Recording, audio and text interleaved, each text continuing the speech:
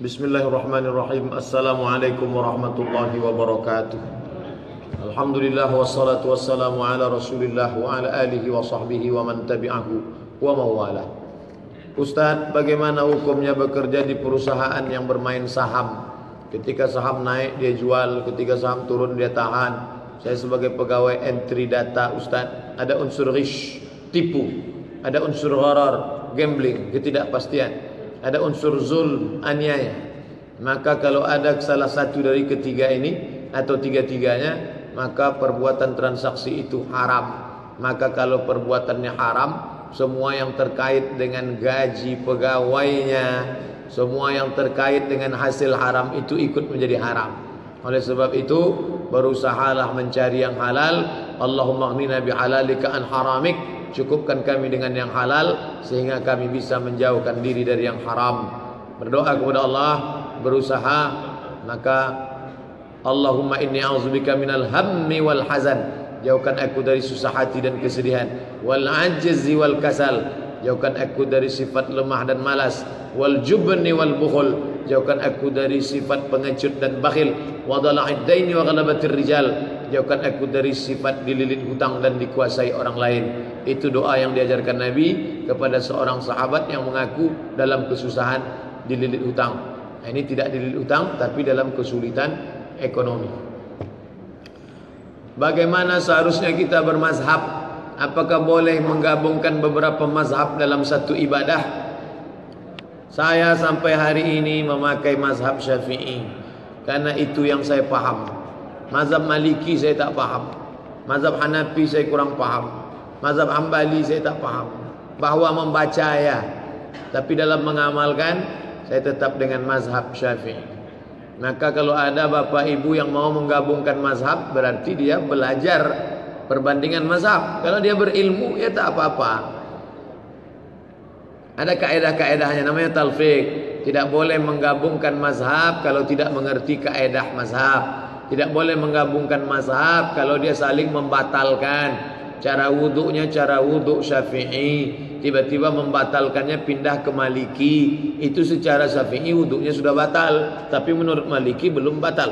Ha, oleh sebab itu kita amalkan yang kita pahami.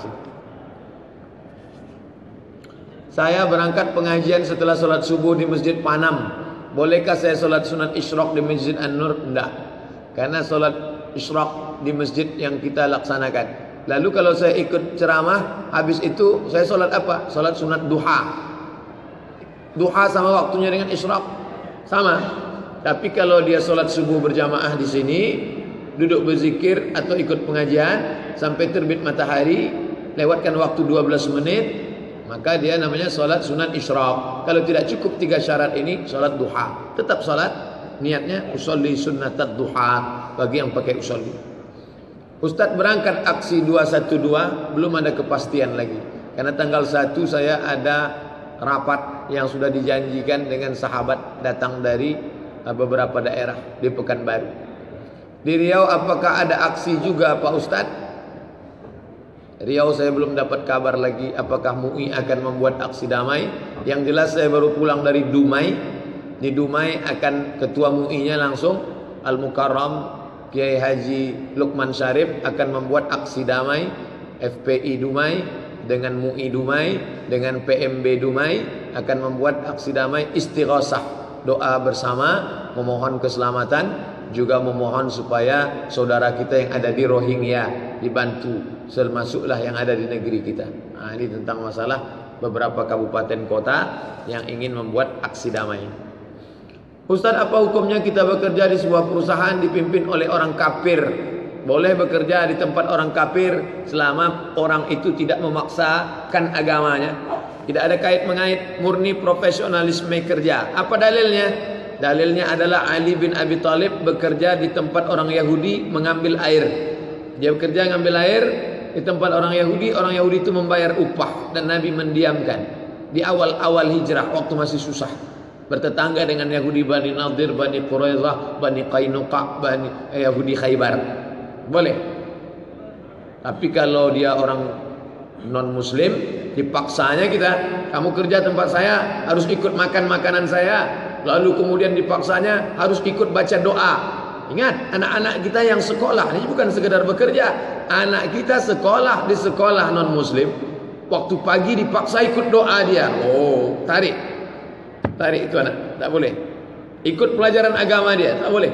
Sekali dia ikut, dua kali dia ikut, lama-lama berpengaruh ke kepalanya. Dia masih belum kuat, dia masih lemah. Maka tak boleh. Tapi kalau tidak ada kait mengait, profesionalisme kerja, jaga toko atau akunting atau desain grafis, tak ada masalah. Wala ana abidu ma'abadtum wala antum abiduna ma'abud lakum dinukum waliyadin. Syukur. Mau tanya Ustaz, dalam solat taubat setelah Al-Fatihah surat Ali Imran ayat 105 136. Dalam rakaat pertama, rakaat kedua setelah Al-Fatihah surat An-Nisa ayat 110. Apa betul Pak Ustaz? Tak ada ayat tertentu. Ma min muslimin yuznibu dzamban. Ada orang berdosa, summa yatatahhar, kemudian dia bersuci, Thumma yusalli rak'ataini, salat sunat dua rakaat. Thumma yastaghfirullah, kemudian dia minta ampun kepada Allah. Illa ghafarallahu lah. Allah mengampuninya.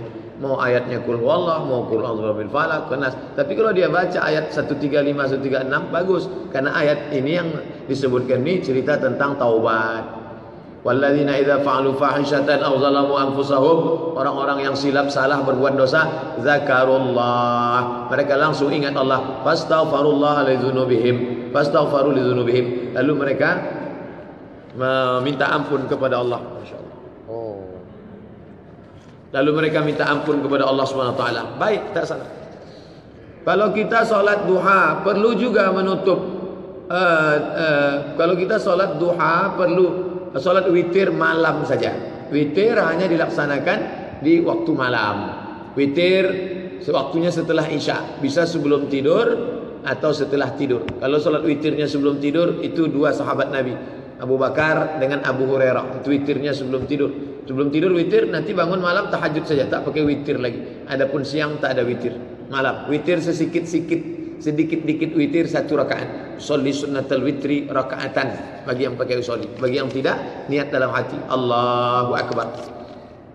Jika seorang suami buat salah, istri selalu menutup-nutupi berpura-pura baik kepada semua orang.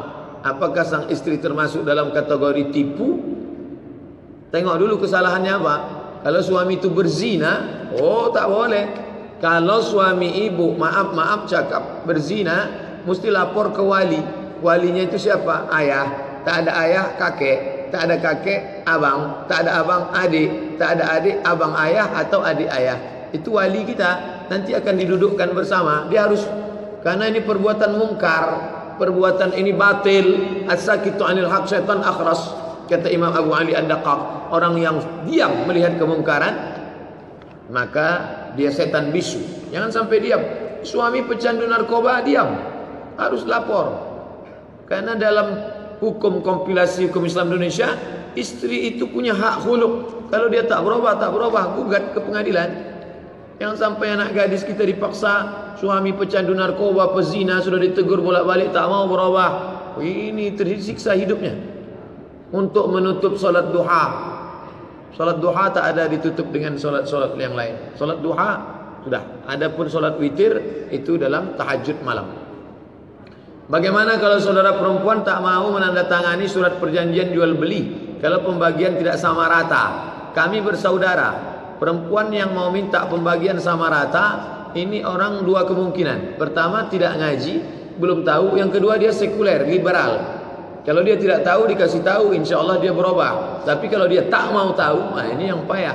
Maka kasih tahu dengan dia bahwa menurut hukum Islam dua kali diulang dalam Quran lid zakari mithlu hadzil unsayain. Lid zakari mithlu hadzil unsayain. Laki-laki dapat dua kali bagian perempuan. Kamu kalau Islam ikut aturan Islam. Kalau kamu tak mau ikut aturan Islam ah keluar kamu dari Islam. Harus disadarkan ini orang. Undang pengajian arisan keluarga judulnya tentang pembagian harta warisan. Kalau tidak dia akan makan uang haram. Nauzubillah kecuali bersepakat bolehkah membagi harta warisan sama rata? Boleh. Syaratnya tiga. Yang pertama, semua ahli waris sudah akil balik. Yang kedua, bahawa masing-masing tahu jatahnya berapa. Yang ketiga, jatahnya yang berlebih dianggap sebagai tabarruk sumbangan ikhlas jangan diungkit-ungkit jangan diungkap-ungkap ada kajian nah, itu boleh empat adik beradik harta pembagian orang tua tinggal satu miliar semestinya jatahnya laki-laki dua kali bagian perempuan tapi kemudian mereka bersepakat bang kita bagi sajalah dua kita bagi empat dua ratus lima puluh juta dua ratus lima puluh juta boleh boleh dengan syarat tiga pertama semuanya sudah akil balik kedua masing-masing tahu jatahnya berapa. Yang ketiga, jatah yang berlebih mengikhlaskan. Jangan sampai diungkit-ungkit di masa akan datang menyebabkan putus silaturahim. Pembagian harta saudara laki-laki kami ini ada mempunyai anak tiga orang laki-laki dan istrinya masih hidup. Istri mendapat seperlapan. Kenapa istri dapat seperlapan? Karena ada anak. Kalau tak ada anak, istri dapat seperempat. Saudara laki-laki ini ada mempunyai anak tiga orang laki-laki.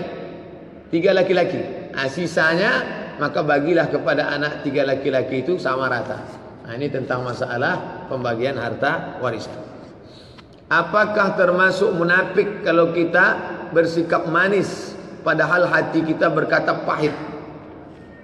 Tak perlu uh, apa yang ada di dalam itu yang ada di luar.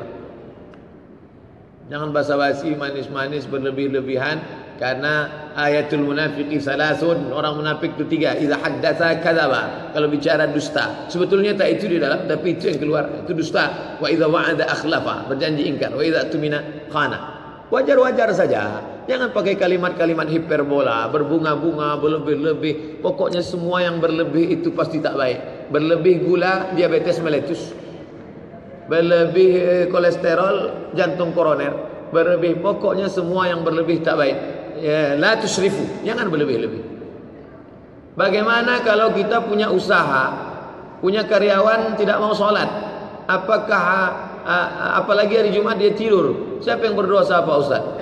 Pimpinan perusahaan punya karyawan buatkan pengajian saya berapa kali menghadiri pengajian-pengajian di perusahaan-perusahaan. Dudukkan bersama sampaikan hadis. Undang Dr. Muhardi Muhammad Saleh Ustaz Mustafa Umar Ustaz Hasbullah, Ustaz Zulhendri Rais. Sampaikan tentang hadis-hadis. Mantaraka salata, mantaraka salat al-jumu'ati. Siapa yang meninggalkan salat Jumat salah samaratin tiga kali berturut-turut tahawunan, tidak ada uzur syar'i karena menyepelekan, tawa Allahu ala qalbi, Allah mengunci pintu hatinya. Tu kalau dia dikasih surat, peringatan SPT peringatan tingkat satu tak juga berubah dua tidak apa boleh buat? Kamu harus berangkat dari sini. Karena saya bertanggung jawab di hadapan Allah Subhanahu taala. Kita tidak hanya bertanggung jawab terhadap kinerjanya tapi juga kullukum ra'in setiap kamu pemimpin wa kullukum mas'ulun ar ra'iyati setiap kamu akan bertanggung jawab di hadapan Allah Subhanahu wa taala. Bagaimana hukum menikahi sepupu masih satu kakek dengan kita. Boleh? Tak masalah. Apakah yang adik-beradik itu mak kita atau ayah kita atau mak kita dengan ayah saya adik-beradik dengan mak dia? Berarti sepupu. Nikah saya sama dia? Boleh. Ayah saya adik-beradik dengan ayah dia? Ayah saya dengan ayah dia adik-beradik? Boleh. Atau emak dia dengan emak saya? Boleh lain adat lain kalau adat saya kalau ayah dengan ayah itu namanya saudara sewali kalau emak dengan emak baru dia sepupu Ha, tapi orang sekarang semua pakai sepupu, sepupu, sepupu. Ha, boleh, tak jadi masalah. Di daerah ada yang berpendapat tidak boleh apabila sepupu tersebut anak dari saudara laki-laki ayah. Sedangkan kalau anak dari saudara perempuan boleh. Apa pula tak boleh? Minta saya dalilnya Pak Ustaz, ayat Al-Quran. Tulis. Kalau ayah kita adik-beradik mau nikah kita, apakah tak boleh? Maka ini ayatnya. Surat Al-Ahzab ayat 50. Ingat Al-Ahzab ayat 50. Wa banati ammika wa banati ammika anak perempuan dari pak cikmu. Ayah saya punya anak, ayah saya punya adik laki-laki. Punya anak perempuan, anak pak cik saya. Boleh saya nikah dengan dia? Al-Ahzab ayat 50. Apa tak boleh? Boleh saya nikah dengan perempuan sekampung Pak Ustaz? Tak boleh, kebanyakan. Ustaz, tolong jelaskan apa itu aliran Islam ibadi yang dianut masyarakat negara Oman. Apakah aliran ini sama seperti Syiah? Tidak. Ibadiyah tidak sama dengan Syiah. Ibadiyah adalah kelompok uh, Ibadiyah masih masih tidak masuk dalam keluar dari ahlu sunnah wal jamaah. Oleh sebab itu maka uh, kita yang tetap ahlu sunnah wal jamaah tetap jangan terpengaruh dengan itu. Jangan terpengaruh dengan ibadiyah. Maka tetap berpegang pada ahlu sunnah wal jamaah. Uh, ada beberapa beberapa pendapatnya keluar dari ahlu sunnah wal jamaah. Tapi kita tetap berpegang kepada ahlu sunnah wal jamaah. Mengapa para rasul itu diturunkan Allah di tanah Arab? Pertanyaan ini pernah ditanyakan kepada Syekh Ali Jum'ah. Saya waktu itu ikut pengajian Syekh Ali Jum'ah mantan mufti Mesir, ada yang nanya satu, "Ustaz, Syekh, ya, limadza arsalallahu al-anbiya ila syarqil awsat?" Ingat betul saya pertanyaan dia. Kenapa Allah menurunkan nabi-nabi itu hanya di timur tengah saja? Kata Syekh Ali Jum'ah, pertama saya kritik kamu jangan kat, pakai kata istilah timur tengah. Syekh Ali Jum'ah marah. Karena istilah timur tengah itu yang dipakai oleh orang barat untuk mencaplok-caplok negeri kita. Dibuatnya timur tengah, timur jauh, di kapling-kaplingnya kita, dipotong-potongnya macam makanan di atas meja makan. Pas macam kata Nabi. Jangan pakai istilah Timur Tengah, Middle East. Dalam bahasa Inggris disebut Middle East, Timur Tengah. Dalam bahasa Arabnya Syarqul Ausat. Jangan pakai kata itu. Yang kedua, masalah pertanyaan entah kata Syekh Ali Jum'ah tentang Nabi diturunkan hanya di Arab saja. Tak betul. Walikulli qaumin had. Setiap kaum ada nabinya. Lalu kenapa kita tidak pernah mendengar ada nabi di Pulau Sumatera, ada nabi dari Kalimantan? Minhum man qasasna alaik wa minhum man lam naqsus alaik. Ada nabi-nabi itu yang kami ceritakan, ada nabi-nabi yang tidak kami ceritakan. Nah, ada nabi-nabi itu yang kami ceritakan, tapi ada nabi-nabi itu yang tidak kami ceritakan. Mungkin ada ulama tafsir dari Al-Azhar mengajar di Umul Qura Makkah. Namanya Syekh Abdul Sattar Fathullah Said. Saya datang pengajiannya. Syekh Abdul Sattar Fathullah Said. Apa kata dia? Mungkin Buddha itu Nabi. Mungkin Brahma itu Nabi. Nah, itu langsung dari mulut Syekh Abdul Sattar Fathullah Said. Saya dengar langsung.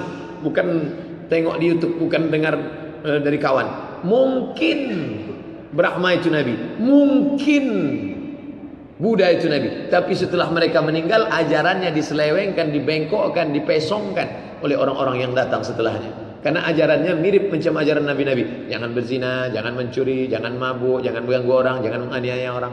Baik-baik ajarannya. Tapi setelah mereka meninggal, ajarannya putus, dibuatkan patungnya, disembah. Karena ada Nabi-Nabi yang diutus Allah. Karena Nabi itu jumlahnya banyak dan tidak semuanya disebutkan dalam Al-Quran. Berapa orang anak Nabi Muhammad sallallahu alaihi wasallam? Zainab, Ummu Kalsum, Zainab, Ummu Kalsum, yang terakhir Fatimah. Zainab, Ruqayyah, Ummu Kalsum, Fatimah. Zainab, Ruqayyah, Ummu Kalsum, Fatimah. Empat-empat ini dari Khadijah. Lahir anak dua laki-laki, pertama Abdullah, kedua Qasim. Enam. Empat laki-laki, empat perempuan, dua laki-laki. Adapun yang satu lagi anak laki-laki itu lahir bukan dari Khadijah tapi dari Maria Al-Qibtiyah, perempuan dari Mesir melahirkan anak laki-laki namanya Ibrahim. Makamnya di Baqi.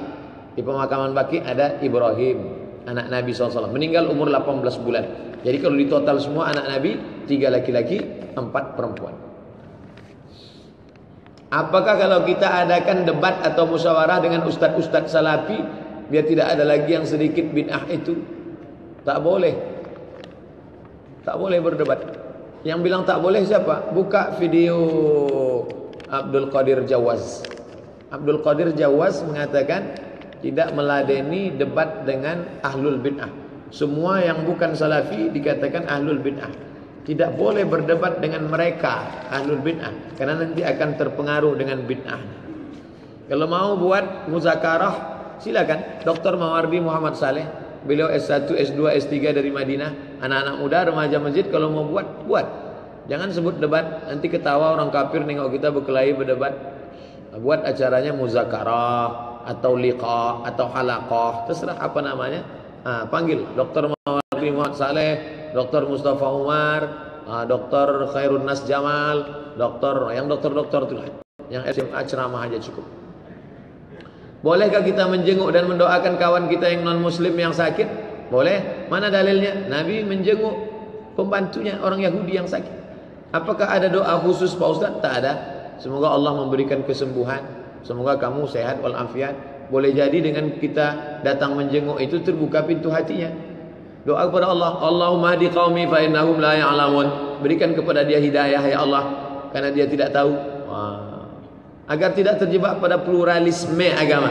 Ingat, pluralisme bukan berarti kita memutuskan. Pluralisme itu artinya mengakui bahawa orang lain itu benar dan masuk surga. Itu pluralisme.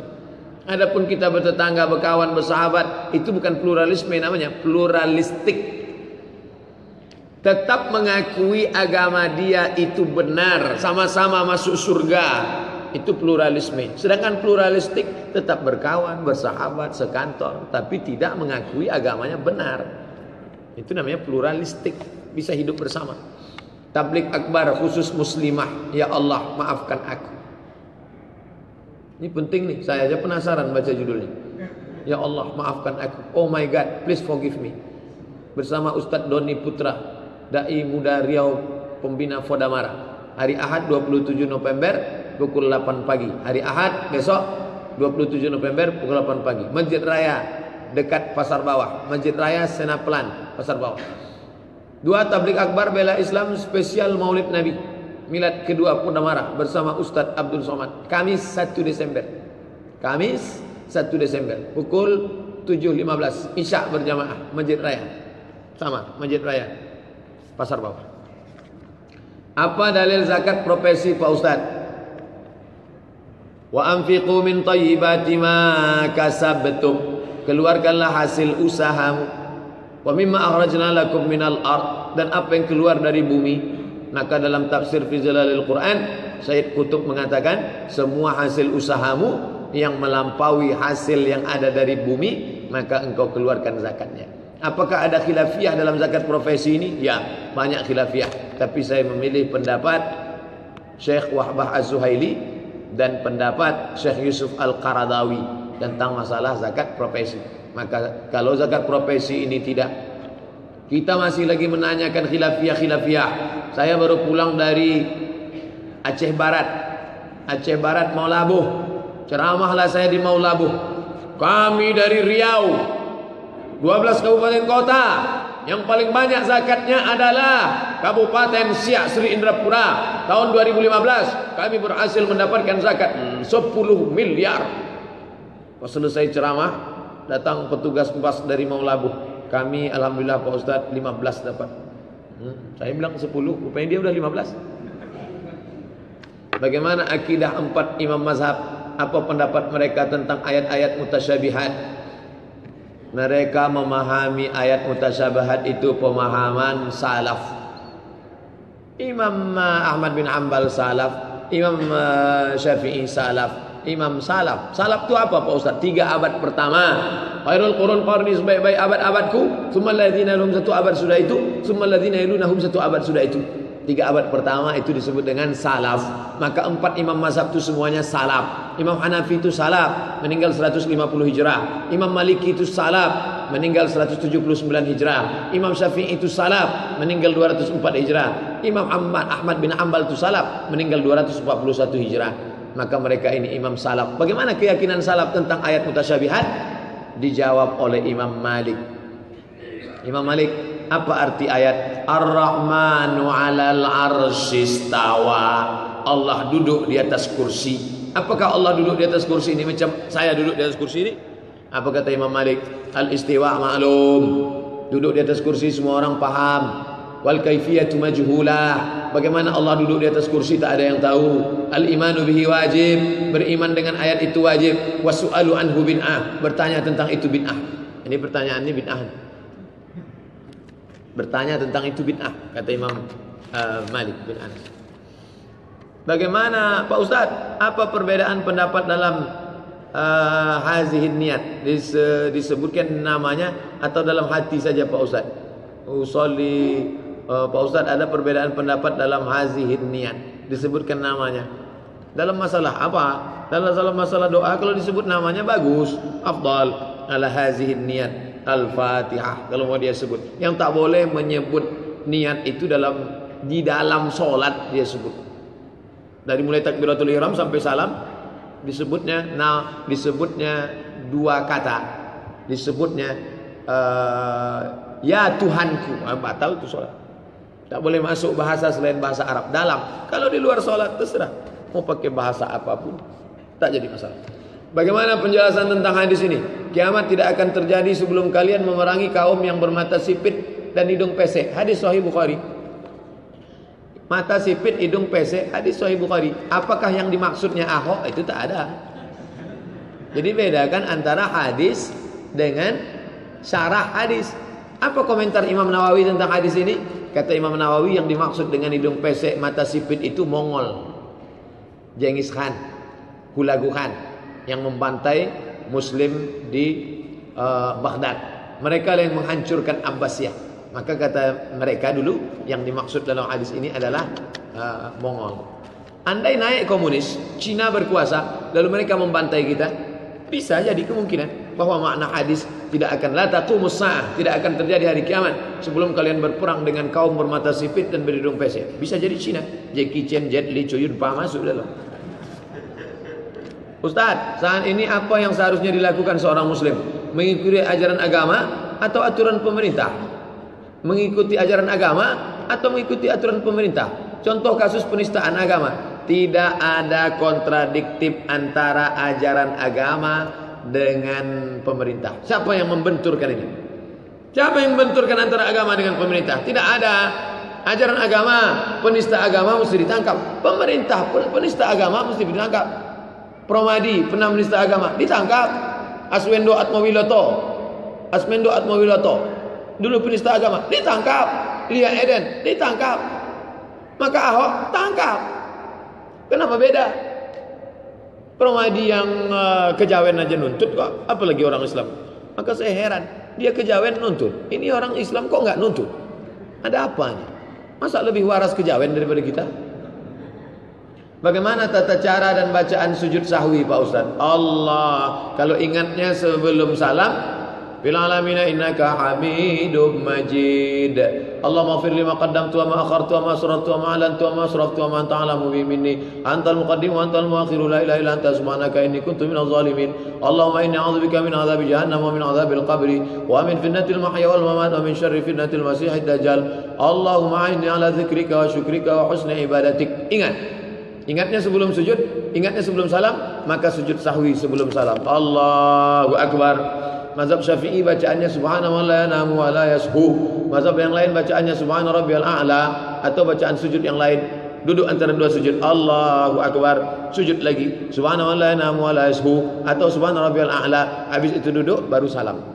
Kalau ingatnya setelah salam, setelah salam itu kita sujud dua kali. Sama, sujud lagi. Sujud, duduk, sujud lagi. Itu namanya sujud sahwi. Sujud itu berapa Pak Ustaz? Sujud itu tiga. Yang pertama sujud sahwi, yang kedua sujud syukur, yang ketiga sujud tilawah. Hari Jumat itu namanya sujud tilawah. Nama ayatnya sajadah. Ingat, nama ayatnya sajadah, nama sujudnya tilawah. Tadi di masjid kami sujud sajadah Pak Ustaz. Ayatnya sajadah, sujudnya tilawah. Salah-salah sikit tak apa Pak Ustaz? Tak apa-apa. Apa bacaan sujud sajadah Pak Ustaz? Sajadah wajhih alladhi khalaqahu wa sawwarahu wa syaqqa sam'ahu fatabarakallahu ahsanul khaliqin. www.google.com Bacaan sujud tilawah enter print cetak tempel baca. Saya tak bisa Pak Ustaz ngapal asal saya baca ujung lupa pangkal, saya baca pangkal lupa ujung. Begitu saya tutup hilang semuanya. Subhana rabbiyal a'la wa bihamdi. Subhana rabbiyal a'la wa bihamdi. Sunat bukan wajib, bukan rukun, bukan syarat. Bagaimana duduk makmum masbuk pada tasyahud akhir? Sudah saya tulis dalam buku 77 tanya jawab solat. Jika saya masbuk masuk ke dalam masjid, imam saya duduknya tasyahud akhir. Bagaimana duduk saya? Duduknya duduk iftirash. Duduknya duduk tasyahud awal imam tasyahud akhir, makmum duduk yang masbuk duduknya tasyahud awal. Pendapat pertama, pendapat kedua duduknya duduk macam imam tasyahud akhir. Buka tujuh-tujuh tanya jawab solat. Buku itu sudah ditulis empat tahun yang lalu. Download gratis di internet. Waduh. Tanya boleh Pak Ustaz? Boleh. Bagaimana cara kita menyelamatkan diri dari fitnah Dajjal? Yang pertama, membaca surat Al-Kahfi. Man qara'a surat Al-Kahfi yaumal jumu'ah. Siapa yang baca surat Kahfi hari Jumat, ada Allah ada Allahu min nur. Allah memberikan dia cahaya pencerahan ma bainal jumu'ataini. Antara Jumat ini dengan Jumat berikutnya diberikan Allah pencerahan, penerangan, dijauhkan. Yang kedua, hafal 10 hafal 10 ayat uh, dari surat Al-Kahfi, 10 awal uh, surat Al-Kahfi. Lalu kemudian banyak-banyak berdoa sebelum tasyahud akhir. Allahumma inni a'udzubika min azab jahannam wa min adzabil qabri wa min fitnatil mahya wal mamat wa min syarri fitnatil masiihid dajjal. Allah beri perlindungan insyaallah. Bisa kita membedakan. Saat orang semua hanyut, insyaallah Allah berikan kita tiang pancang yang kuat untuk berpegang. Ombaknya boleh keras, ombaknya boleh kuat. Wa'tasimu bihablillah, berpegang dengan tali Allah. Apabila ada teman yang berutang pada kita, Lalu hutang itu kita ikhlaskan dan kita tidak tagih kepada yang berhutang. Apakah hutang tersebut sudah terhitung lunas? Ya. Mana dalilnya? Fa in kana usratin kalau kawanmu itu dalam kesulitan fa naziratun ila maisarah berilah dia tenggat waktu sampai dia lapang wa anta saddaqu khairul lakum kalau kau ikhlaskan itu lebih baik kalau kau sedekahkan itu lebih baik. Ayat ini dihafal oleh orang yang memberi pinjaman, bukan yang minjam. Ini banyak sekarang ayat ini dihafal oleh yang meminjam. Ketika ditagih dia, Pak sudah bayar, dibacakannya ayat itu ke kita. Wa anta saddaqu khairul lakum. Kalau kau sedekahkan lebih baik. Bagaimana caranya mengganti solat yang sudah bertahun-tahun ditinggalkan karena kesengajaan? Maka masih jahiliyah. Selesai solat langsung. Nanti habis solat zuhur, zikir, Ba'diyah habis tu qada. Usalli fardhu zuhri arba'a raka'atin qada'an. Habis asar. Usalli fardhu asri arba'a raka'atin qada'an. Habis maghrib. Usalli fardhu maghribi salasa raka'atin qada'an. Habis isya. Usalli fardhu isya'i arba'a raka'atin qada'an. Sampai kapan Pak Ustaz? Sampai lunas. Berapa lama? Berapa lama meninggalkan solatnya? 10 tahun. Berarti lunasnya 2026. Israel datang 2020. Bagaimana tata cara mandi junub yang benar? Pertama, maaf, maaf, maaf, cakap basuh kemaluan. Setelah basuh kemaluan, berwudu. Basuh wajah, tangan, kepala. Waktu mengusap kepala, airnya agak dibanyakkan. Karena Nabi banyak taklil, mencerah-cerah, basah. Biar supaya apa? Biar supaya kepalanya nanti tidak terkejut waktu disiram dengan air. Tulisan yang banyak di-share beberapa hari ini. Stok di kamar mandi. Kenapa stroke di kamar mandi? Waktu air disiramkan, tiba-tiba kepala terkejut karena dingin, maka datang darah menyembulang dari jantung. Subat, macet, akhirnya stroke di kamar mandi. Maka pelan-pelan setelah pertama basuh kemaluan, habis itu berwudu dengan membasahi kepala banyak air. Setelah itu siram dari sebelah kanan, dari bawah ke atas atas terus sampai. Apa hukum begitu? Sunnah. Andai dia di hotel di tepi sungai, sah. Apa hukumnya seorang pencuri mati dihukum masyarakat di mata Islam? Pencuri dalam Islam potong tangan. Ayat Quran langsung. Asariqu pencuri laki-laki, wasariqatu pencuri perempuan, faqta'u aydiyahuma. Potonglah tangannya. Yang dipotong itu dari mana Pak Ustaz? Yang dicuri itu berapa? Rubu'u dinar. Satu logam dinar 4,25 gram. Seperempat dinar itu angkanya. Jadi kalau nyuri uh, nyuri permen nak potong tangan. Seperempat dinar. Dan barang itu memang disimpan di dalam tempat terjaga. Dia mencuri mengambil. Nah, itu. Kalau sepeda motor di halaman parkir kuncinya ada. Itu dia curi. Tertangkap dia. Kenapa kamu curi? Saya enggak nyuri. Orang ada kuncinya kok kata dia. Ini yang menjatuhkan hukuman itu siapa? Pengadilan. Adapun masa membunuh ingat. Bahwa dia bersalah ya tapi kesalahan dia tidak melegitimasi kita untuk membunuh dia. Dibakar dia sampai mati. Oh, dia memang bersalah, tapi di akhirat dia pun bisa menuntut kita. Kenapa? Karena kita sudah menghabisi nyawa orang lain. Banyak orang sekarang melimpahkan suatu kesalahan ke kesalahan yang lain.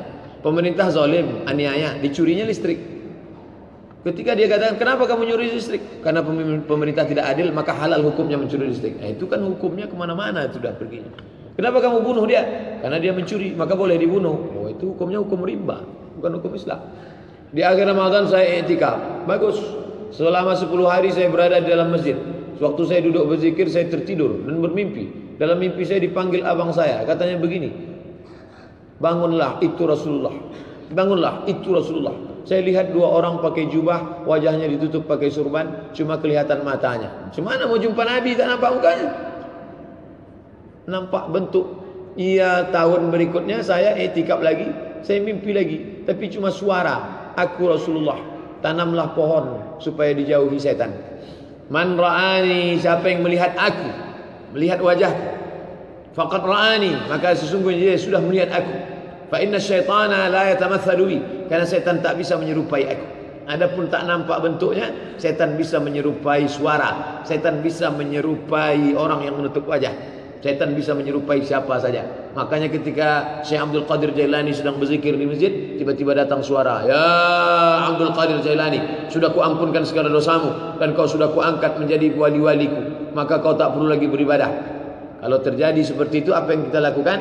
Membaca ta'awuz meniup ke sebelah kiri. A'udzubillahi minasyaitonirrajim. A'udzubillahi samil alim minasyaitonirrajim. A'udzubikalimatillahi tammati min kulli syaitani wa hammati wa min kulli ainin lamah.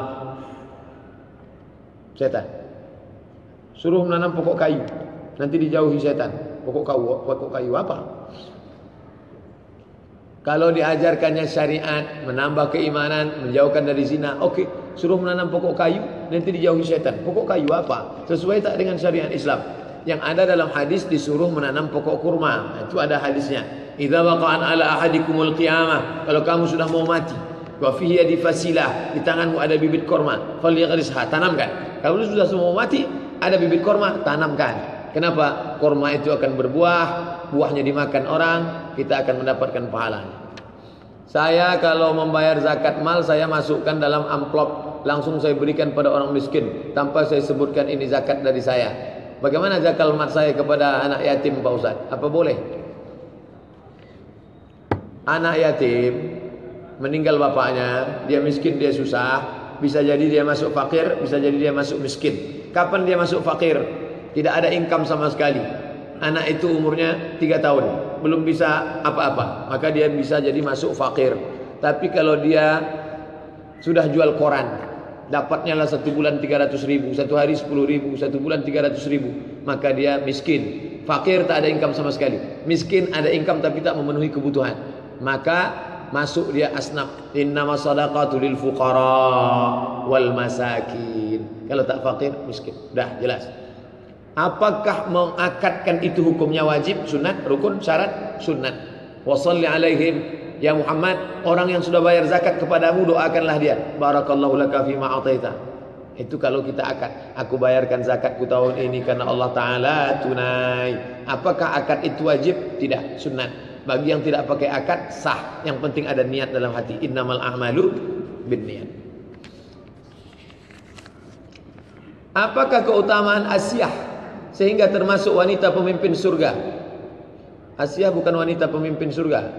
Asyah itu Asyah itu dalam Al-Qur'an Rabbi ibnili 'indaka baitan fil jannah Ya Allah bangunkan untukku satu tempat dalam surga wa najini min fir'auna wa amalihi selamatkan aku dari Firaun dan perbuatannya wa najini minal qaumil zalimin.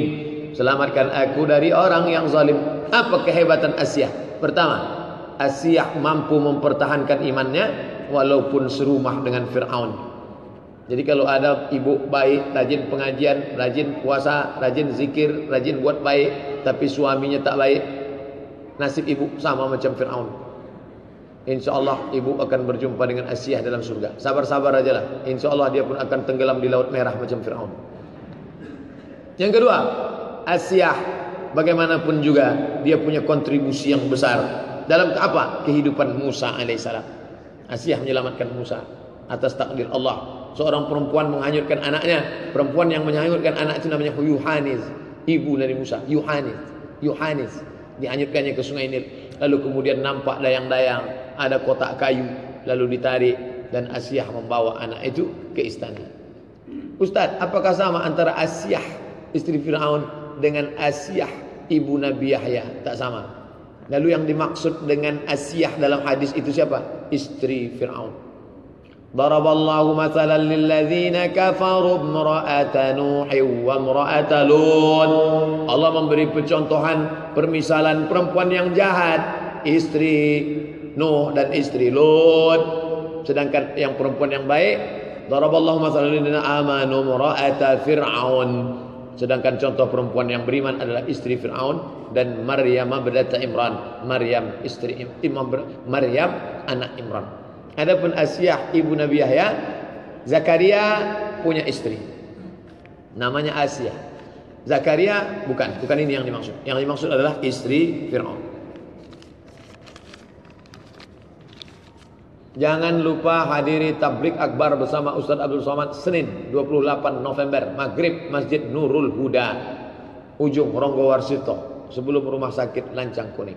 Maghrib Hari Senin insyaAllah. Ronggo Warsito Ujung Maghrib berjamaah. Kita lanjutkan setelah Isya. Apa beda solat sunat fajar Dan rawatib qobliyah subuh? Podo Samo Sami mawon bagi yang pakai usolli usolli sunnatas subhi rak'ataini qabliyatan. Yang satu lagi usolli sunnatal fajri rak'atail fajri. Pahalanya khairun minad dunya wa ma fiha. Lebih baik daripada dunia dan seisinya. Ayatnya rakaat pertama qul ya ayyuhal kafirun. Rakaat kedua qul huwallahu ahad. Pahalanya lebih baik daripada dunia dan seisinya. Waktunya ba'dal azan. Setelah azan. Tulisan Pak Ustaz tentang ini Baca buku. Tujuh-tujuh tanya jawab solat. Ada download gratis. Mana yang didahulukan Pak Ustaz? Mana yang didahulukan? Orang dia sama kok. Solat duha mulai jam berapa Pak Ustaz? Nih waktu duha. Syuruk jam 6 Saat jam 6 Syuruk. Syuruk artinya matahari terbit. Ini bumi. Ini bumi. Ini permukaan bumi ini. Terbitlah matahari jam 6 Ini matahari naik Ketika matahari terbit naik Itu tak boleh. Lewatkan sampai setinggi tombak. Ini tombak. Qaidah ramhin sampai setinggi tombak. Lewatkan matahari naik-naik sampai setinggi tombak. Ah. Setelah setinggi tombak Barulah boleh solat. Waktu setinggi tombak ini disebut Kornai syaitan Waktu tanduk syaitan. Kenapa disebut tanduk syaitan? Karena waktu matahari itu naik Datang syaitan Sampai setinggi tombak. Habis itu setan pergi. Ini lambang setan. Metal. Setan. Nah, sampai dia pergi. Setinggi tombak. Setelah diukur menurut ilmu astronomi saat matahari naik sampai setinggi tombak 12 menit. Makanya tadi kita lewatkan sampai 15 tadi lewat 15, 16 atau 17 lewat. Pokoknya tidak boleh solat saat matahari setinggi tombak. Ada saya dengar menjelang solat zuhur sebelum azan waktu yang mustajab. Mohon pencerahan Pak Ustaz. Waktunya terbentang dari mulai sekarang terbit matahari jam 6, jam 6.12 sudah mulai boleh. Sampai kapan? 10 menit menjelang azan zuhur. Mana itu? Azan zuhur jam uh, 12.02. Ah, maka 10 menit sebelum azan zuhur waktu tergelincir matahari waktu makruh. Berapa waktu terlarang solat? Tiga. Terbit matahari tenggelam matahari tergelincir matahari. Terbit matahari tenggelam matahari tergelincir. Ini tiga waktu yang dipakai mereka dulu untuk menyembah lata uzza manat ubal jipti tawud karena mereka menyembah kepada matahari. Jadi waktu yang makbul untuk berdoa itu Pak Ustaz? Hina tarmidul fisal ketika matahari panas anak onta tak bisa menempelkan perutnya ke pasir. Waktu kabul berdoa. Jam 11 jam 11.30 solat oh bagus sekali. Matahari sedang panas anak onta tak bisa menempelkan perutnya ke lantai ada orang yang berdoa. Ada yang lain sibuk dengan bisnisnya dagangnya kebunnya tapi ada orang berdoa pada saat orang tak berdoa bagus. Tengah malam orang sibuk tidur. Nah, sibuk doa. Carilah waktu-waktu yang kira-kira orang sedang sedikit berdoa saya seorang karyawan yang berpenghasilan pas-pasan tapi mencari nisab. mencapai nisab. Saya ingin berzakat. Apa yang dimaksud zakat profesi? Zakat penghasilan, pendapatan. Setelah berzakat profesi, apakah zakat mal kita gugur? Kalau pendapatan bapak selama satu tahun 85 gram emas kali 500 ribu 42 juta 500 maka sudah kena nisab 42 juta 500 bagi 12 bulan sama dengan 3,6 jadi yang berpendapatan 3,6 itu sudah kena. Kalau 3,5 belum kena. Yang berpenghasilan 4 juta sudah kena. Karena 4 juta itu kalau setahun 48 juta.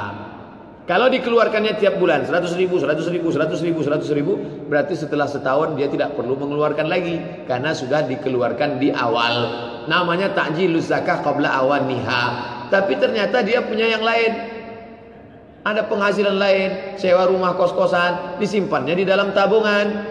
Ditabungnya, berapa isi tabungan itu? Ada 100 juta. Maka yang 100 juta tadi dikeluarkan lagi zakatnya. Namanya zakat tabungan. Berapa zakatnya? Sama, 2,5 persen. Kalau 100 juta berapa zakatnya? 2 juta setengah. Kalau kita membayar zakat di kota amal masjid tiap-tiap bulan setelah gajian, Takut nunggu setahun karena takut habis duitnya. Bukan melalui amil. Bagaimana Pak Ustaz? Seabdol-abdolnya dengan amil. Datang ke amil, serahkan. Karena kalau tidak kita bayarkan amil, ini amil zakat ini nanti hidup segan mati tak mau. Macam kerakap tumbuh di batu, hidup segan mati tak mau. Maka dengan amil lebih baik. Karena lebih terkoordinir, lebih sistematis, lebih terukur. Daripada kita serahkan begitu saja. Ha, makanya zakat yang paling bagus produktif Malaysia. Iri kita menengok anak Malaysia. Anak Malaysia kuliah di Mesir zaman saya 5000 orang dapat zakat. Satu tahun 6000 ringgit kali 3 juta 18 juta. Pinjaman dari kerajaan dapat beasiswa dari zakat dapat. Kerajaan Selangor kerajaan Perak kerajaan Perlis kerajaan Terengganu kerajaan Kelantan Malaka sampai Kucing dapat zakat. Ustaz Somad selama 4 tahun di Mesir ada dapat dari Riau zakat seperak harap Kenapa ada sebagian ulama dan kiai mempunyai karomah sakti seperti kebal? Itu semua karena keimanannya atau bantuan jin. Sedangkan Nabi Muhammad bisa giginya patah. Khalid bin Walid penuh dengan bekas luka. Apakah keimanan saat keimanan kiai sakti tersebut melebihi Nabi Muhammad sallallahu alaihi wasallam? Hadis tentang karomah sahih, buka sahih Muslim. La yazalu abdi yataqarrabu ilayya bin nawafil. Hambaku yang mendekatkan diriku dengan ibadah sunat. Coba tengok bunyi hadisnya. La yazalu abdi yataqarrabu ilayya bin nawafil. Hambaku yang mendekatkan diriku karena ibadah sunat. Bukan yang wajib. Salat sunat, puasa sunat, zikir sunat, sunat, sunat, sunat, sunat. Hatta uhibbah. Sampai aku mencintainya. Jatuh cinta Allah kepada hamba itu karena ibadah sunatnya banyak. Fa iza ahbabtuhu, kalau aku sudah cinta kepadanya, fa akunu ainahu yubsiru bihi, aku akan menjadi matanya dia memandang dengan mata. Jadi kalau ada orang bisa tahu isi hati orang lain, tak mustahil. Tapi ingat dulu pangkal hadisnya karena ibadah sunat, bukan karena Mbah Selamat masuk ke dalam. Bukan karena Pak Ilyas masuk ke dalam kirim Al-Fatihah untuk Mbah Ilyas, kirim Al-Fatihah untuk Mbah Anu, kirim Al-Fatihah. Kan itu ajaran Kiai Dimas Kanjeng. Ingat. Idza ra'aita al-latiyati, idza ra'aita ar-rajula, kalau kau tengok ada orang yatiru fil hawa, bisa berjalan di atas awan, yamshi 'alal ma, bisa berjalan di atas air, la tartar, jangan kau tertipu. Kau tengok ada orang berjalan di atas awan, berjalan di atas air, jangan kau tertipu kebal jangan kau tertipu. Lalu apa? Pandanglah istiqomahnya. Jalan di atas air terbang di atas awan. Ada orang gila di tempeleng sembuh tapi tak solat. Oh. Kode etik dalam tasawuf ahlu sunnah wal jamaah. Pandanglah istiqomahnya dalam beramal. Allah Allahu Rabbuna la nusriku bihi syai'a apa maksud dari kalimat ini Pak Ustaz? Allahu Rabbuna, Allah Rabb kami. Allah Rabb kami, Allah pencipta kami, Allah pelindung kami, Allah pemberi rezeki kami, Allah penjaga kami. La nusyriku bihi syai'a. Kami tidak mempersekutukan dia dengan apapun. Kami tak mempersekutukan dia dengan Brahma, dengan Siwa, dengan Wisnu, dengan Siddhartha Gautama, dengan Yesus Kristus, dengan hutan, dengan pokok kayu, dengan lembu, dengan hantu, dengan jembalang tanah. Itu maknanya. Murni tauhid. Bolehkah seorang wanita yang sedang haid berzikir? Boleh. Subhanallah, subhanallah, subhanallah. Adik-adik, siswa-siswi, siswi yang sedang berhalangan tidak bisa baca Quran, tidak bisa solat, tidak bisa etikaf, maka perbanyak zikir. Kenapa banyak perempuan diganggu setan dalam keadaan maaf cakap menstruasi? Karena dia dalam keadaan kotor. Lalu kemudian datang setan mendekat. Bagaimana cara menjauhkan? Zikir, zikir, zikir. Zikir boleh. Tak salah. Dalam waktu salat saya berusaha sekuat mungkin untuk khusyuk. Tapi ada saja yang membuat saya tidak khusyuk. Kadang kepikiran inilah itulah yang tetap mencoba untuk khusyuk. Bagaimana tips supaya salat khusyuk? Sebelum salat dari mulai ada pemanasannya dari mulai wuduknya sudah mulai ketika membasuh tangan keluar dosa dari tangan ketika membasuh mulut keluar dosa dari mulut ketika mengusap wajah keluar dosa dari kelopak biji mata ketika mulai khusyuk dijaga. Menjawab seruan azan menutup dengan doa wasilah tidak membunyi-bunyikan tangan menjaga. Ha, Nabi marah habis itu jaga kehusuan hati masuk ke dalam masjid baca doa Allah maftah li abu abu rahmatik baca kulon azburu binas lalu fokus kata Allahu Akbar Allahu Akbar kabira. Connect antara mulut dengan hati. Pahami apa yang dibaca. Saya tak menyuruh menghafal terjemah. Payah. Yang penting paham saja. Allahu Akbar kabira. Alhamdulillah kasira. Connect antara mulut dengan hati. Ketika sudah agak-agak lari-lari. Balikkan lagi. Allahu Akbar kabira. Dengar. Hamsah agak-agak didengar telinga. Allahu Akbar kabira. Walhamdulillah kasira. Wa subhanallah bukrata wa asila. Wajahtu wajahiyya. Illadhi fatara samawati. Wal arda hanifa muslima wa ma'ana minal musyrikin. Inna salati wa nusuki wa mahyaya wa mawati. Fokus. Apakah orang khusyuk itu kehilangan kesadaran? Kalau ada yang mengaku dia khusyuk sudah kehilangan kesadaran, tadi tiba-tiba aku solat tak nampak aku lagi tiang-tiang ini aku sudah berada di Sidratul Muntaha. Bohong. Berarti dia lebih hebat daripada Nabi Muhammad sallallahu alaihi wasallam. Sedangkan Nabi masih sadar apa yang terjadi, sedangkan sahabat Nabi, sahabat Nabi yang disebut radhiyallahu an masih sadar bahawa Nabi buka sendal di depan. Sahabat Nabi masih sadar bahawa Nabi datang, mereka pukul tangan. Mereka pukul tangan karena Nabi datang. Mereka minta Abu Bakar supaya mundur ke belakang. Mereka sadar apa yang terjadi. Mereka melek. Bukan mereka kehilangan kesadaran. Ah. Bagaimana cara menghadapi orang yang ngotot tentang pakai celana harus di atas mata kaki? Tak bisa dilawan. Orang dia sudah berkeyakinan macam itu. Buku dah saya tulis. 37 masalah populer. Video sudah. Video isbal. Udah. Tak ada cara lain. Tidak ada cara lain yang terbuka hatinya untuk. Ustaz uh, Abdullah Hadrami, Salafi dari Malang, kaki celananya potong, berjenggot panjang. Tapi dia tidak anti dengan kita yang tidak seperti itu. Malah buku 37 dia promosikan. Tengok di Facebooknya. Ustaz Abdullah Hadrami. Bagi anda yang ingin keluar dari kotak kecil terlalu sempit, maka bacalah buku ini. Saya terkejut. Saya tak pernah kasih buku itu ke beliau. Sampai buku itu ke beliau dan beliau baca isinya, beliau suka dan beliau kasih uh, komen dan banyak orang tertarik dengan itu. Kita hanya bisa, kita tak bisa memaksa orang. Inna anta munzir, kau hanya memberikan pengetahuan. Lasta alaihi bil musaitir, kau tak punya kuasa untuk memaksa orang lain. Mana yang dulu keluar Pak Ustaz? Imam Mahdi apa Dajjal? Imam Mahdi apa Dajjal? Maka setelah Imam Mahdi turun, Lalu kemudian Dajjal dibunuh oleh Imam Mahdi. Dajjal dibunuh oleh Isa. La mahd la is la mahdiya illa Isa, la Isa illa Mahdi. Itu hadis yang mengatakan bahawa Mahdi itu Isa, Isa itu Mahdi menurut satu mazhab. Yang lain mengatakan dia akan dibunuh oleh Dajjal ini akan mati, bunuh. Setelah itu lalu dunia kacau balau sampai tidak ada satu lagi orang menyebut Allah. Selama masih ada menyebut Allah, Allah masih bertauhid, hancur semuanya. Mudah-mudahan kita selamat dari masa yang kacau balau itu barulah kiamat dunia. Begitu susunan susunan urutannya. Jadi bersamaan zaman mereka. Dalil apa yang harus saya sampaikan kepada paman saya yang mengatakan bahawa para wanita, ibu-ibu tidak boleh belajar agama kepada ustaz yang masih muda belum nikah karena bukan mahram. Ustadz itu ngajar ngaji, tapi bacaannya bagus, hafal Quran. Belajarnya jangan dekat-dekat. Pakai tirai, jauh, ramai-ramai. Ramai-ramai. Kalau nampak dia agak jelalatan gatal, dia cari ustaz lain. Kan ada tu gelagat-gelagatnya. Habis tu di SMS-nya ibu, ibu apa kabar? Bisa ketemuan di mall. Ah, ini tak betul nih. Tapi kalau murni belajar, dia pun menunduk, tak ada mandang-mandang, cakapnya tak apa, hanya murni. Kita bisa main pukul rata.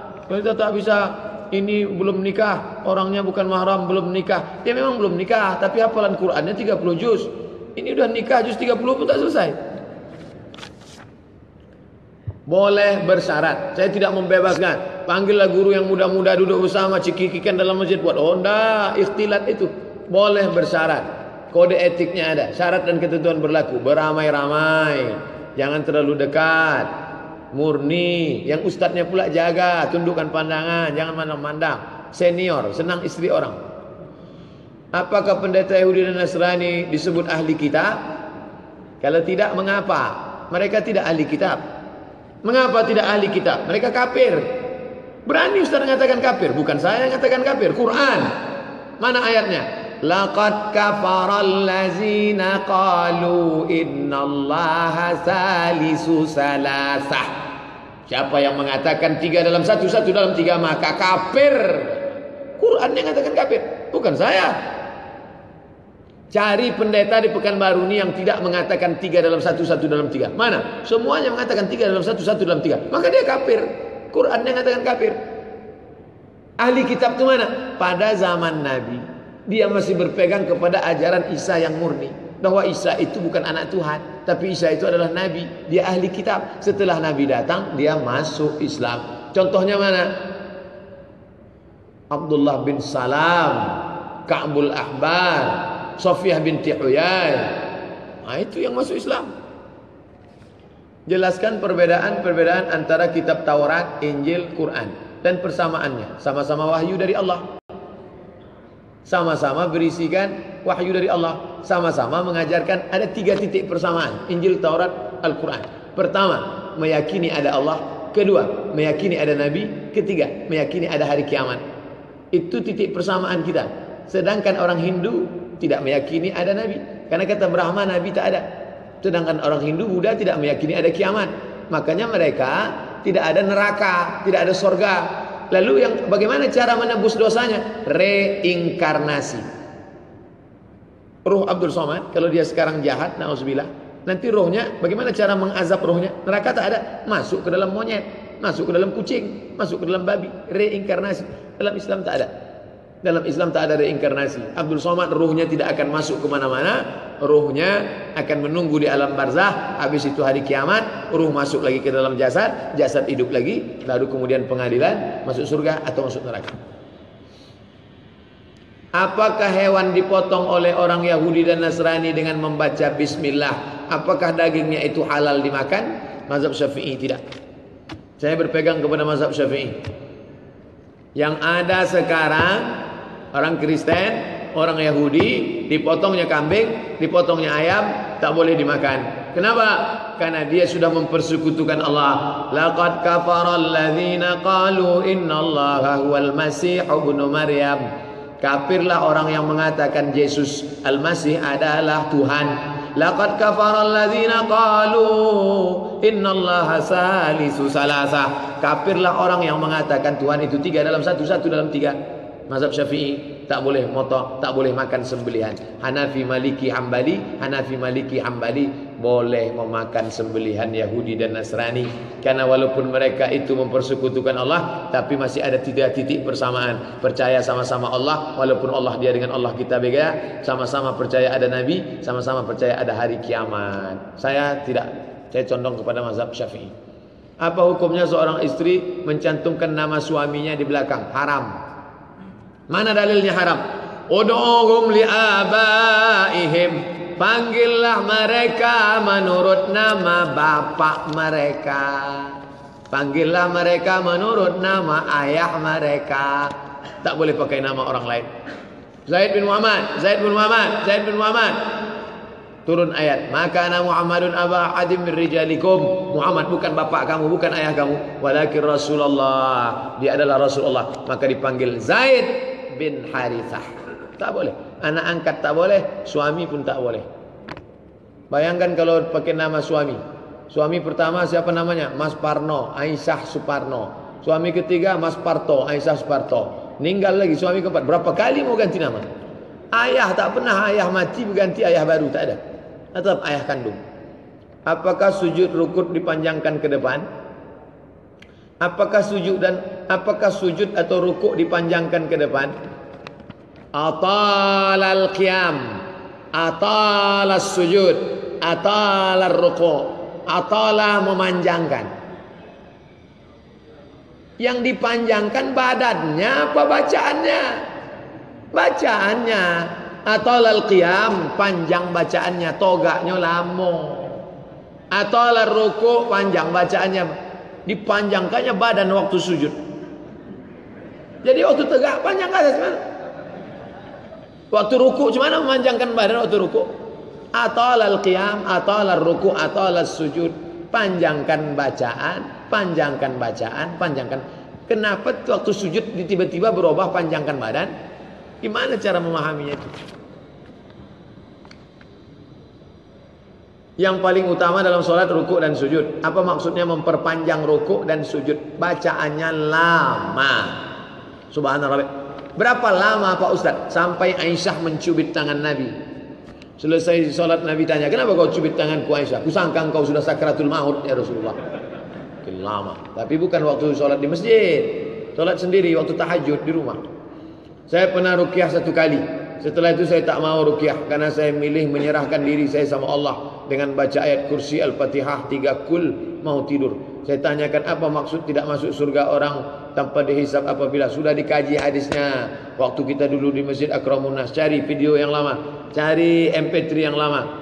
Salah ada yang tidak di, tidak di tidak dihisap yadkhulul jannata bighairi hisab. Siapa itu la yastarqi, tidak minta diruqyah. Pendapat pertama, tidak diruqyah dengan ruqyah batilah. Ruqyah terbagi dua. Satu ruqyah syar'iyah, satu ruqyah batilah. Yang dimaksud itu minta ruqyah batilah. Yang kedua, bahawa dia tidak meyakini sembuhnya itu karena ruqyah itu. Tapi sembuhnya karena Allah. Ruqyah itu hanya sebagai wasilah saja. Yang ketiga dia tidak bersandar kepada ruqyahnya tapi bersandar kepada usaha. Maka orang yang minta ruqyah dalam keadaan dia terjepit susah tidak jadi masalah. Ruqyah itu aslinya bacaan diri kita sendiri. Sebelum tidur malam Fatihah pangkal Al-Baqarah ayat kursi Fatihah, pangkal Al-Baqarah, ayat kursi, ujung Al-Baqarah dari lillahi mafis, kul wallah, kul falak, kul binas, tiup ke telapak tangan, usapkan ke wajah, usapkan ke kepala, tiupkan ke air, diminum, dimandikan pada orang yang mau melahirkan atau diminumkan. Yang sedang rumah sakit ICU, diusapkan ke wajah, ke kepala, diminumkan kalau bisa minum. Tapi kalau tak mempan, kita minta usaha orang lain. Datang ke Masjid Al-Falah, jumpa Ustaz Saiful. Ustaz Saiful, Ketua Arsi, Asosiasi Ruqyah Syariah, Masjid Al-Falah. Apakah boleh membaca ayat solat sunat malam, ayat Quran tersebut ditempelkan ke dinding setelah dipotokopi? Tempel ke dinding.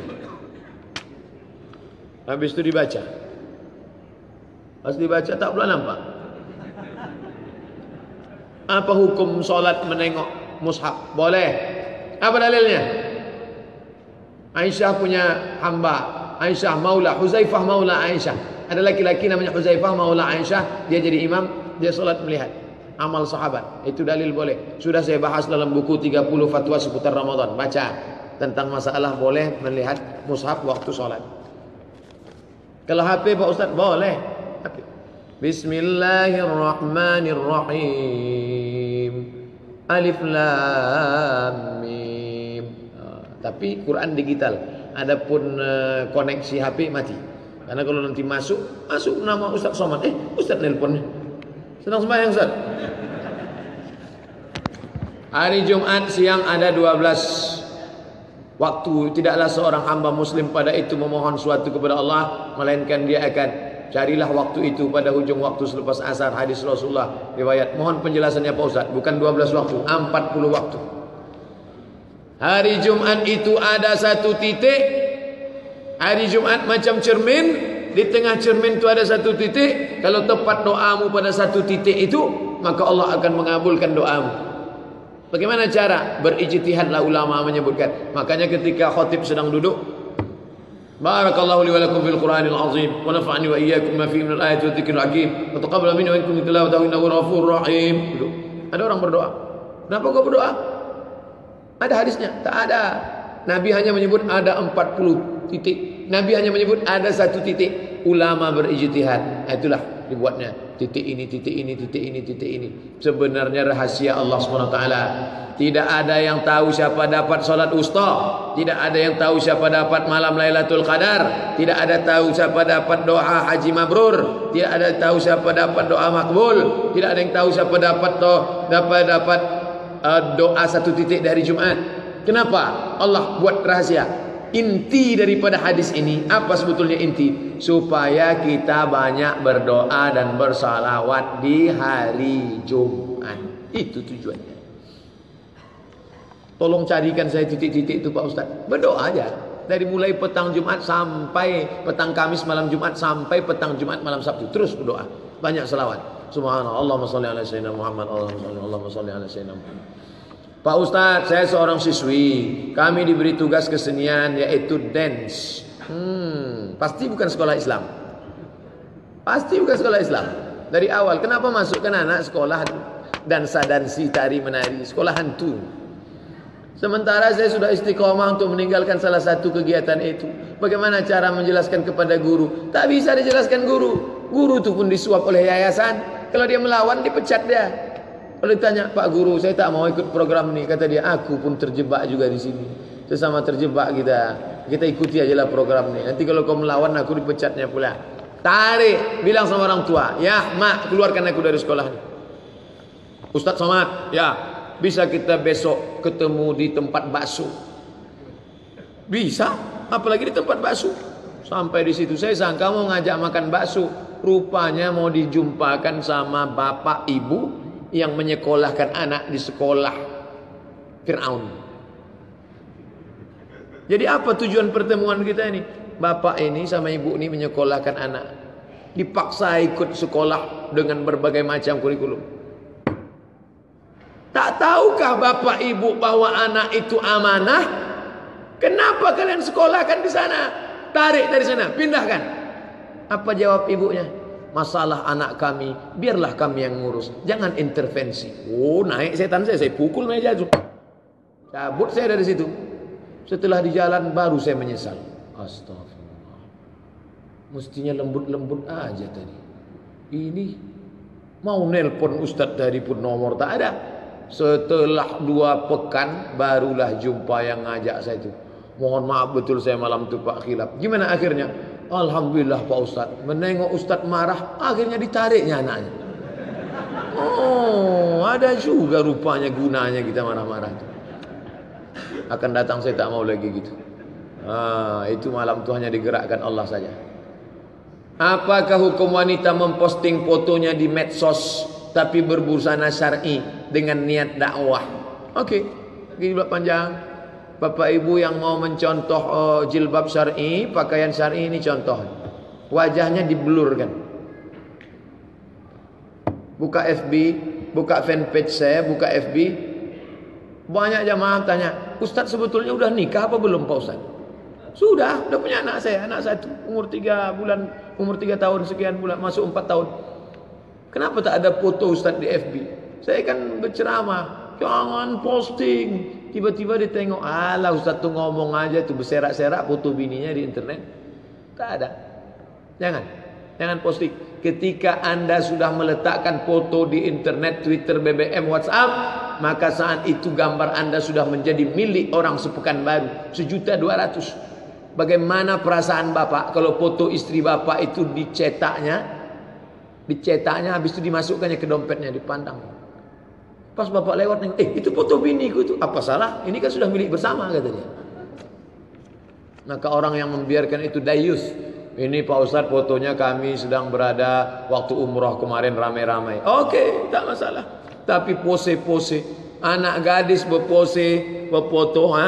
sambil menjulurkan lidah. Maaf, maaf cakap. Anjing menjulurkan lidah hanya pada dua kondisi. Pertama kehausan, yang kedua sedang bernafsu. Sedang bernafsu dia. Sama tertulis di situ, ayo berzina. Anak gadis kita, adik perempuan kita, tapi sedang foto ramai-ramai, sedang pengajian, anak-anak Al-Azhar Sifabudi sedang membagikan nasi goreng berfoto. Oke. Okay. Tapi pose-pose yang tidak-tidak mari kita jaga anak, sahabat, keluarga, tetangga, kawan, jamaah. Apakah bercadar itu wajib? Dianjurkan. Kalau ada jamaah bercadar bagus, mahasiswi bercadar bagus, mahasiswi bercadar diusir oleh dosen. Keluar dari lokal saya. Jangan pakai cadar. Menangis melapor ke saya. Pak Ustaz, saya diusir. Kamu lapor ke rektor. Nanti kalau perlu dukungan, Insya Allah saya datang. Saya tak mau intervensi masalah ini karena ini masalah dosen sama mahasiswa, tapi saya memberikan motivasi lapor, lapor ke rektor, dimenangkan, boleh masuk lokal pakai cadar. Apa salahnya? Kenapa orang marah nengok dia pakai cadar? Kenapa nengok pakai celana sempit tak marah? Kenapa nengok orang pakai celana jin tak marah? Kenapa orang tak berjilbab tak marah? Kenapa nengok perempuan bercadar marah? Berarti marah kita itu karena setan. Dia sudah mau menutup aurat. Anak gadis zaman sekarang pakai cadar bagus. Dosen-dosen kalau ada mahasiswinya pakai cadar tentu dia lebih fokus. Kalau mahasiswi itu cantik, nanti tengoknya situ. Bagus pakai cadar. Bagus pakai cadar. Bagus. Ada. Cuman bagi ibu-ibu agak selektif juga. Kalau anak ibu itu pakai cadar, pulang dia ke rumah bawa kawan bercadar, periksa. Takutnya buka berkumis pula. Apa hukumnya? Apa hukumnya menyingkat saul Allah Subhanahu wa taala SWT Nabi Muhammad SAW dalam bahas makalah mahasiswa kalau dibuatnya di situ Muhammad Sod Muhammad Salam oh tak boleh buat sallallahu alaihi wasallam sallallahu alaihi wasallam salawat dengan tulisan sallallahu alaihi wasallam kenapa saya ikut bisnis perdagangan Keluarga saya ikut bisnis perdagangan dengan modal sekian rupiah. Setiap bulannya mendapatkan hasil sekian rupiah. Apa hukumnya Pak Ustaz? Sedangkan kami hanya menerima riba. Investasi riba. Riba, riba, riba, riba. La ta'kulur riba. Jangan kalian makan riba. Selamatkan keluarga diri daripada riba. Bagaimana menyenangkan hati diri untuk bekerja. Sementara lingkungan kantor tidak motivasi diri. Bahkan membuat diri ini lemas. Tak bersemangat di mana saat ini berangkat semangat pasti selalu ada. Ketika di kantor kawan-kawan hanya absen pagi, absen pulang saja. Lingkungan kerja seperti ini membuat ini curhat nih. Okeylah, kita baca. Tak ada tempat dia mengadu lain kecuali Ustaz Somad. Mudah-mudahan Bapak Ibu sabar kita baca sampai habis. Kerjaan jauh dalam perjalanan menuju kantor diawali dengan semangat dengan keadaannya. penting kerjakan rumah sungguh jadi andai kata saja rumah saya bukan dari kantor mungkin saya bisa jadi berbuat demikian mohon pencerahannya Pak Ustaz oh patut panjang jauh dari Payakumbuh Ustaz saya mohon saran dan pencerahannya. Bulan ini saya susah sekali bangun solat subuh Untuk solat berjamaah Walaupun tidur di awal waktu. Saya merasa hati saya keras. Mendengarkan suara azan Subuh jadi kurang peka Pengennya nunda-nunda sampai Gak solat berjamaah. Gimana caranya seperti dulu lagi? Mampu sholat tahajud. Bandung. Bagi yang dari Bandung tidurnya cepat banyak minum jangan banyak makan kalau banyak makan perutnya kenyang matanya sayu tidurnya lama. Oleh sebab itu ah, beli jam jam waker wake bangun ker waker jam yang bisa membangunkan. Kring tak juga bangun beli jam yang bisa menempeleng dan menyipah. Minta pesan kalau sudah menikah. Ha, bangun. Nih ketika sudah terbangun jangan lawan-lawan lagi. Bangkit. Kom bangkit. Kamar mandi. Mandi bagus. Mandi pagi mandi subuh itu bagus. Bu, bu, bu. bagus. Segar. Sehat Adapun yang dari saudara kita dari Payakumbuh Sumatera Barat semangat kerja tidak ada. Ada pekerjaan lain yang gajinya mungkin lebih rendah daripada ini, tapi lingkungannya membuat kita istiqomah. Atasannya rajin sholat berjamaah, berjilbab, pindah. Andai tak ada tempat pindah, kitalah yang memanage diri kita sendiri. Tidak ada orang bisa merubah kita. Orang ini hanya di luar eksteren. Adapun yang di dalam intern diri kita sendiri. Pahami. Halaka mur'un lam ya'rif qadrahu. Celaka orang yang tak tahu siapa jati dirinya. Ustaz Somad kalau mau membangkitkan Ustaz gimana cara semangat? Bapak kalau mau bangkit ikut pengajian. Saya mau ikut pengajian siapa? Mau ikut pengajian siapa saya? Ikut pengajian Dr. Mawardi. Kadang saya tak sempat. Kalau mau saya ikut dokter pengajian Ustaz Mustafa Umar. Jadi Ustaz bagaimana cara membangkitkan Ustaz semangat? Nengok orang mati, nengok orang sakit, nengok orang cacat, bantu orang susah. Itu membangkitkan semangat baru. Tidak bisa dibangkitkan semangat ini dengan motivator. Diundang motivator dari Jakarta. Dibuat di acara hotel mewah. Matikan lampu. Slide. Dengan suara. Semangat. Semangat. Begitu keluar dari hotel. Letoy. Lesu loyo balik. Tak bisa. Semangat itu bangkit dari dalam. Kita lah yang mengenal diri kita. Saya bersemangat dengan apa? Saya kalau sudah keluar dari rumah sakit, menengok orang sakit, mendoakan orang sakit, bangkit semangat. Alhamdulillah. Kadang banyak-banyak kejadian-kejadian tak sengaja. Pulang dari masjid, Ustaz singgah sebentar kita ke rumah sakit mendoakan keluarga kami sudah koma selama dua pekan. Kemarin jatuh, mati urat saraf, sudah doa. Bangkit semangat baru. Hai Abdul Somad, ini hambaku sehat, tapi tiba-tiba ku cabut. Engkau masih ku buat sehat. Kenapa kau tak beramal? Kenapa kau tak semangat? Bangkit semangat. Mohon kepada Allah Subhanahu wa. Apa hukumnya perempuan menyulam alis? Sambung bulu mata. Suntik. Penjelasannya Pak Ustaz. La'anal hadis riwayat Abdullah bin Mas'ud. La'anallahu al-washimat. Allah melaknat yang buat tatu. Wal mutashimat minta buat tatu. Wal mutanammisat mencabut.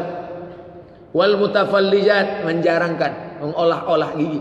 Wal mughayyirat merubah ciptaan Allah. Siapa yang mengajak dia merubah setan, setan. Wala umannian, wala umanniannahu. Ku buat dia berhalusinasi, berimajinasi. Kalau kau buat ini kau lebih cantik, kalau ini kau buat begini lebih cantik, kalau ini kau buat lebih cantik, kalau kau buat lebih lebih cantik, kau buat ini. Yang ditonton Joda Akbar. Yang ditonton India. Udah jelas orang Indonesia dagu pendek, yang ditonton India mau panjang, disuntikkan silikon. Ah, setelah dua bulan turun ke bawah. Dagu turun, hidung turun, pas macam nenek sihir, mak lampir setan. Haram haram haram. Merubah yang tak layak jadi layak boleh. Ada anak perempuan bulu matanya tak layak. Bos serak-serak macam genderuwo. Itu dirapikan menjadi layak boleh. Tapi yang sudah layak dibuat menjadi tak ya layak. Yang tak normal dibuat menjadi normal boleh. Tapi yang sudah normal menjadi abnormal ibu sudah normal baik bagus. Tak kurang satu apapun tapi karena ikut-ikut-ikut orang oh, akhirnya besok hari ini libur walimah akikah. Pasang macam-macam Biru di kiri, hijau di kanan. Anak saya baru lahir Rencana saya ingin kasih nama Nauren Azkaira. Saya mendapatkan itu melalui internet Dari salah satu nama-nama islami. Nauren katanya cahaya. Nur. Cahaya itu nur Orang kita ini dirobah-robahnya Nauren Nur itu cahaya Azkaira itu katanya orang yang suci. Azka, zakka suci. Makanya zakat itu artinya mensucikan. Qad aflaha man zakka. Azka suci. Okey dah. Tambah-tambah sikit tak apa-apa. Modif ini namanya nama Islami modif. Nauren Azkaira. Mantap. Bagus, tak salah. Bagaimana menurut Pak Ustaz? Bagus. Daripada namanya Cristiano Argulera. Namo baca absen. Cristiano. Mana bayangan awak Cristiano mancung. Tengok PC di masjid kami setiap pagi ada ibu-ibu mengaji pakai mikrofon. Apa hukum ibu-ibu ngaji pakai mikrofon? Bismillahirrahmanirrahim. Ar-Rahman apa hukum suara perempuan itu? Suara perempuan itu aurat Pak Ustaz. Suara perempuan itu aurat kalau melambung-lambung. Ketik. Ketik di YouTube.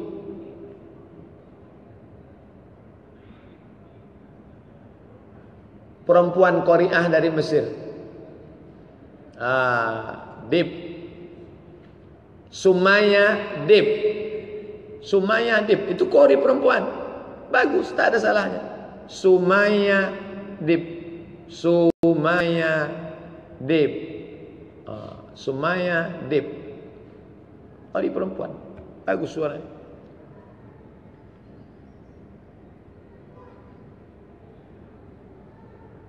Habis pula paket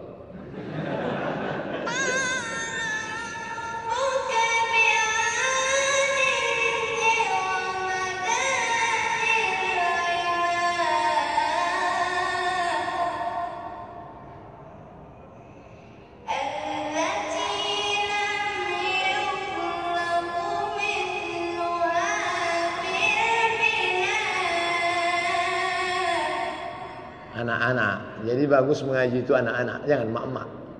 Jadi mendengar anak itu mengaji di masjid, apa kata bapak? Anak kita kok gak pandai ngaji mah? Jadi kalau menengok anak-anak mengaji, maulid Nabi, Isra Mi'raj, Nuzul Quran, ini mau dekat nih pengurus-pengurus masjid yang ngaji anak-anak. Jangan bini orang suruh baca Quran di depan laki orang. Bagus anak-anak ngasih motivasi.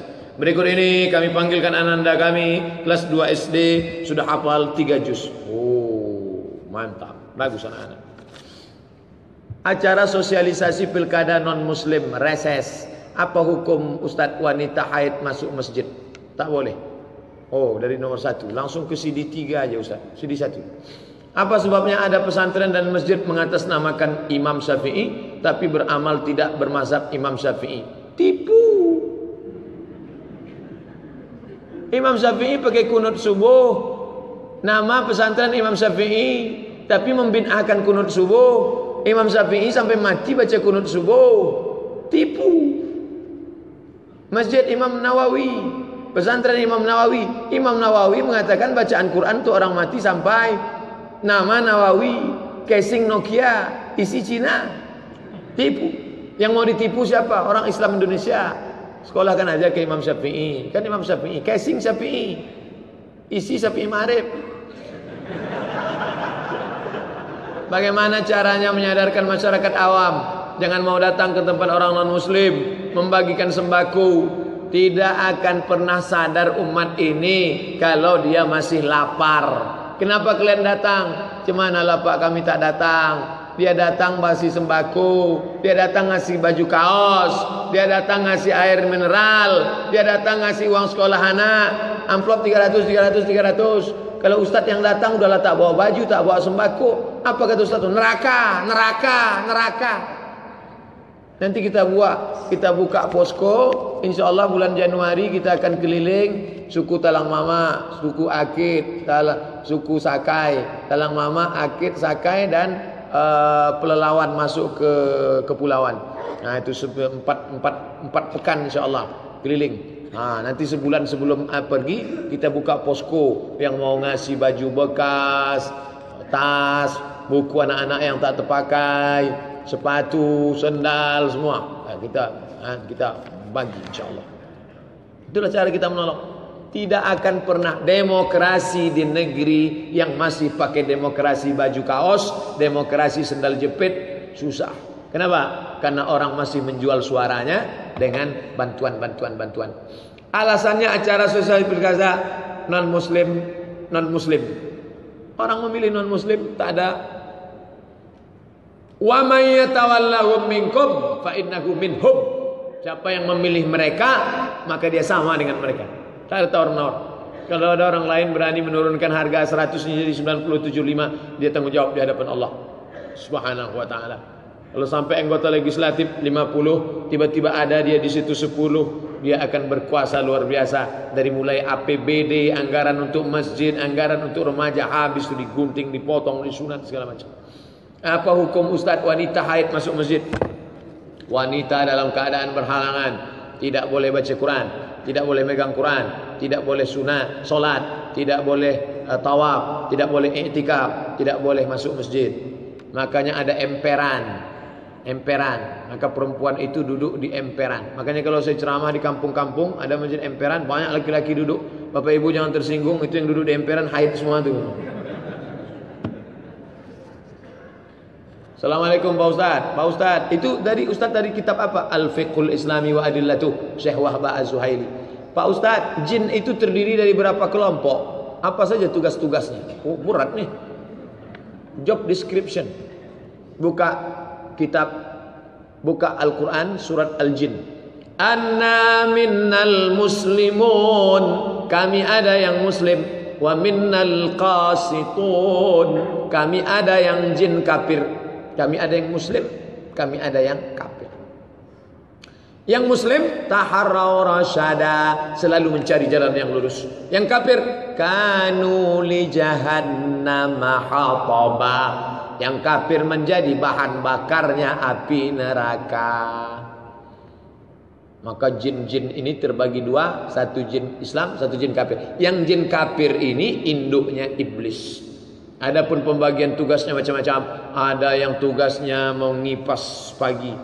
Orang yang mau berangkat subuh tadi, berangkat tidak ya, berangkat tidak ya ditiupnya. Dulu digambarkan jin itu datang membawa kipas. Dulu jin yang dulu itu namanya eh, jin manual.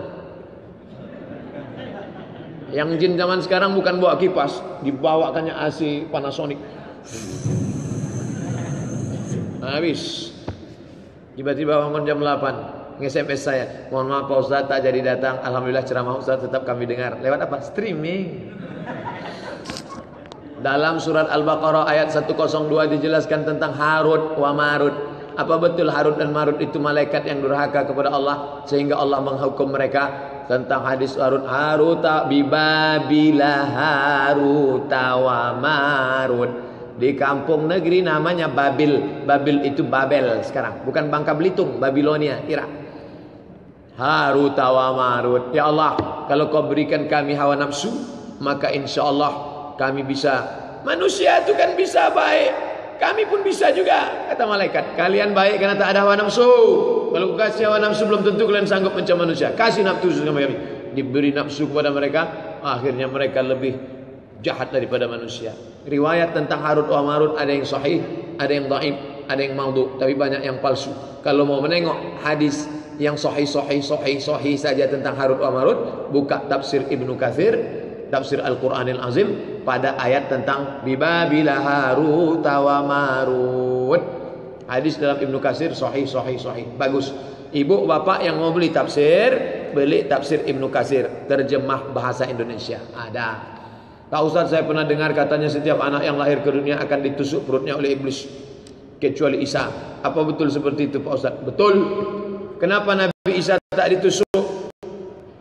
Ini nazartu lakama ada seorang laki-laki namanya Imran. Imran punya istri namanya Hannah. Hannah tak hamil dia bernazar. Surat Ali Imran. Inni nazartu laka ma fi batni muharrara. Aku bernazar kalau nanti aku hamil anakku akan menjadi penjaga Baitul Maqdis. Falam